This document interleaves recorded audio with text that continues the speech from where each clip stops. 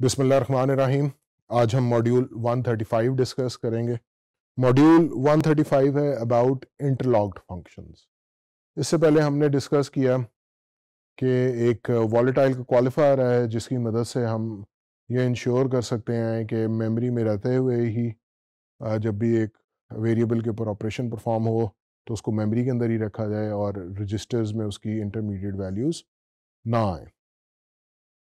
और फिर हमने मेमोरी बैरियर्स भी देखे हैं, जिसकी वजह से हम ये इंश्योर करते हैं कि जब भी एक वेरिएबल अपडेट होता है तो वो प्रोपोगेट हो सही तरीके से मेमोरी तक, ताकि वो बाकी कोर्स को भी या बाकी प्रोसेसर्स को भी एक्सेसिबल हो। इससे हम कैश कोहरेंसी की जो प्रॉब्लम है, उसको काउंटर कर सकते हैं।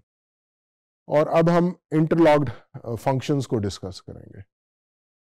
ये मेमोरी बैरियर्स का इस्तेमाल हम कैसे कर सकते हैं? मेमोरी बैरियर्स का हम इस्तेमाल थ्रू इंटरलॉक्ड फ़ंक्शंस कर सकते हैं। तो इसकी थोड़ी सी आगे डिटेल देखते हैं।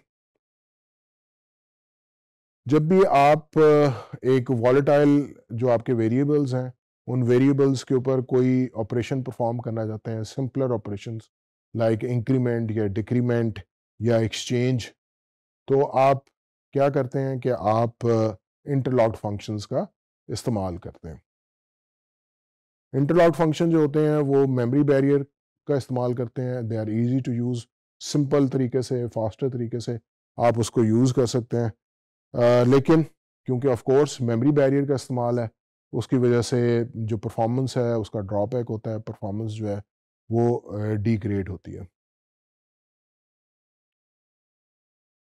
तो दो फ़ंक्शंस हैं बड़े बेसिक किस्म के। एक मेमोरी इंटरलॉग्ड इंक्रीमेंट और एक इंटरलॉग्ड डिक्रीमेंट। तो इंटरलॉग्ड तरीके से आप किसी एक वॉलेटाइल वेरिएबल को अगर इंक्रीमेंट करना चाहते हैं तो आप यूज़ करेंगे फ़ंक्शन इंटरलॉग्ड इंक्रीमेंट और अगर इंटरलॉक तरीके से आप किसी वॉलेटाइल वेरिएबल को डिक्रीमेंट करना चाहते हैं तो उसके लिए आपके पास फ़ंक्शन अवेलेबल है, इंटरलॉग्ड डिक्रीमेंट। अगर ये एक और इंपॉर्टेंट आस्पेक्ट इसमें समझने की ज़रूरत है। मेमोरी के लिहाज से ऑप्टिमाइजेशन करनी पड़ती है।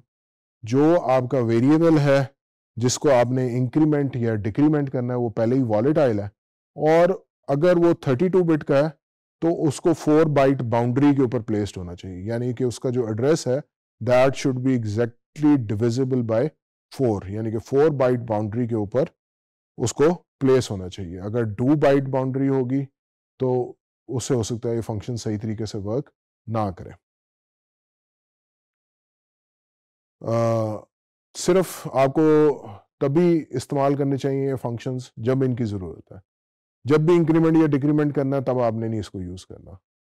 लेकिन अगर वाकई आपको ज़रूरत है आप समझते हैं कि ये शेयर्ड वेरिएबल एक वेरिएबल ऐसा है जो कि सारी थ्रेड्स जिसको एक्सेस करने की कोशिश करेंगी तब आप इन फ़ंक्शंस का इस्तेमाल करें। क्योंकि ये परफॉर्मेंस हर इंक्रीमेंट या डिक्रीमेंट इनकी मदद से करेंगे तो ये परफॉर्मेंस को डिग्रेड कर देगा।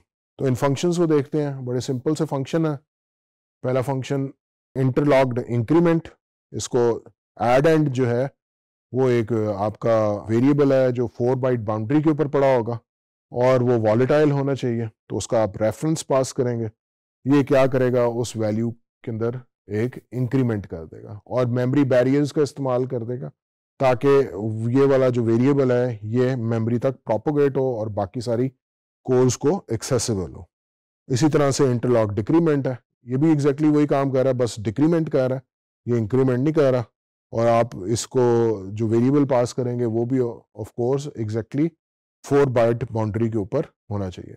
जो सिक्सटी फोर बिट वर्जन हैं, उनके लिए जो इसका वेरिएंट अवेलेबल है दैट इज़ इंटरलॉक्ड इंक्रीमेंट 64 या इंटरलॉक्ड डिक्रीमेंट 64 और उस केस के अंदर जो आप इसके अंदर वेरिएबल स्पेसिफाई करेंगे, वो वेरिएबल जो है, वो 64 बिट का वेरिएबल होना चाहिए ऑन अ 8 बाइट बाउंड्री ठीक है? 8 जिस तरह 32 बिट वाले के अंदर 4 बाइट बाउंड्री के ऊपर होना चाहिए तो ये 8 बाइट बाउंड्री के ऊपर होना चाहिए, यानी कि उसका एड्रेस जो है that should be exactly divisible by 8 इसको यूज़ करने का तरीका यहाँ पे आप देख सकते हैं एन आपका कोई वॉलेटाइल वेरिएबल है आपने इसको एन का रेफरेंस पास किया और एन को आपने अप्रोप्रिएट बाउंड्री के ऊपर ही रखा। उसको जो एड्रेस है वो फोर अगर थर्टी टू बिट का ऑपरेशन है तो फोर बाइट बाउंड्री के ऊपर होना चाहिए।